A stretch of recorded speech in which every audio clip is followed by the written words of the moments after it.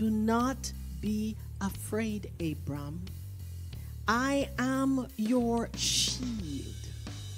I am your protector. I am your preserver. I am your very great reward. Like what you're believing for is going to be a great reward to you. You, you, you, you I know it's disappointing to you every year, but I need you to protect your heart from fear. Number one. That is number one what we have to protect our heart for when we're looking for a job and we can't seem to get it, or whatever disappointing things we're praying for and it's not happening. Number one, protect your heart from fear. Why? Because fear is a stronghold. It started as an emotion, it started as a thought, but if it gets to be a stronghold in your soul, it crushes your faith and move you out of favor with God.